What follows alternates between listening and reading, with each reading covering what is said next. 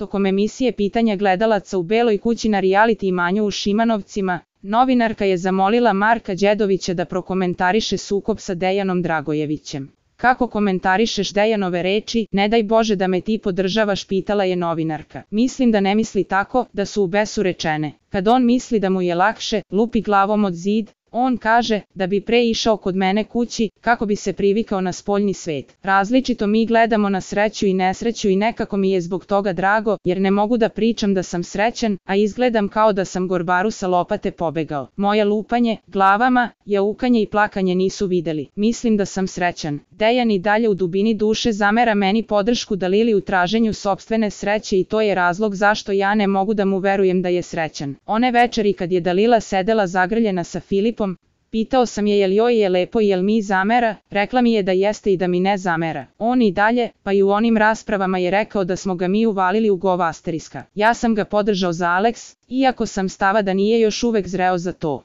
Previše se brzo sve izdešavalo. Zabole me kur asterisk c za sve, To je najbitnije. Ja sam bio dužan da očistim gov asteriska poturajući mu rame za plakanje, rekao je Đedović. Ja sam već sad čuo da mu je izlaganje nelogično. Marko kaže da kad pita nekoga nešto, on veruje u to, a onda on kaže da mutiraju televizor i da prate postupke. Slika bez tona govori više reči, rekao je Dejan. Kome verujem na reč, da Lili, pitao je Đedović. Ne znam ja kome ti veruješ, rekao je Dejan. Verujem i tebi da ti je lepo, verujem u ove budalaštine, rekao je Đedović. Ja volim ovakvog iskrenog Marka, jer je ovakav bio i na mom ramenu. Drago mi je što je narod upoznao ovakvog Marka, rekao je Dejan. Jel ti je žao što si optužio Marka, što uništava tuđe živote? Pitala je novinarka. Ja sam Markom, kad uđem u raspravu, tako je kako je. U besu sam rekao i za nešto i mislim. Rasprave sa njim su bez vređanja. Šta meni može Marko? Ne može mi ništa, rekao je Dejan. Ja sam čoveku koji je za svog životnog saputnika govorio sve najlepše, pa najgore, verovao. To je autoprojekcija, rekao je Marko. On kaže da sam jako ristoljubiv, a danas čujem da je on iskoristio Mariju i Miljanu. Rekao mi je da sam genetski otpad, rekao je Dejan. Da,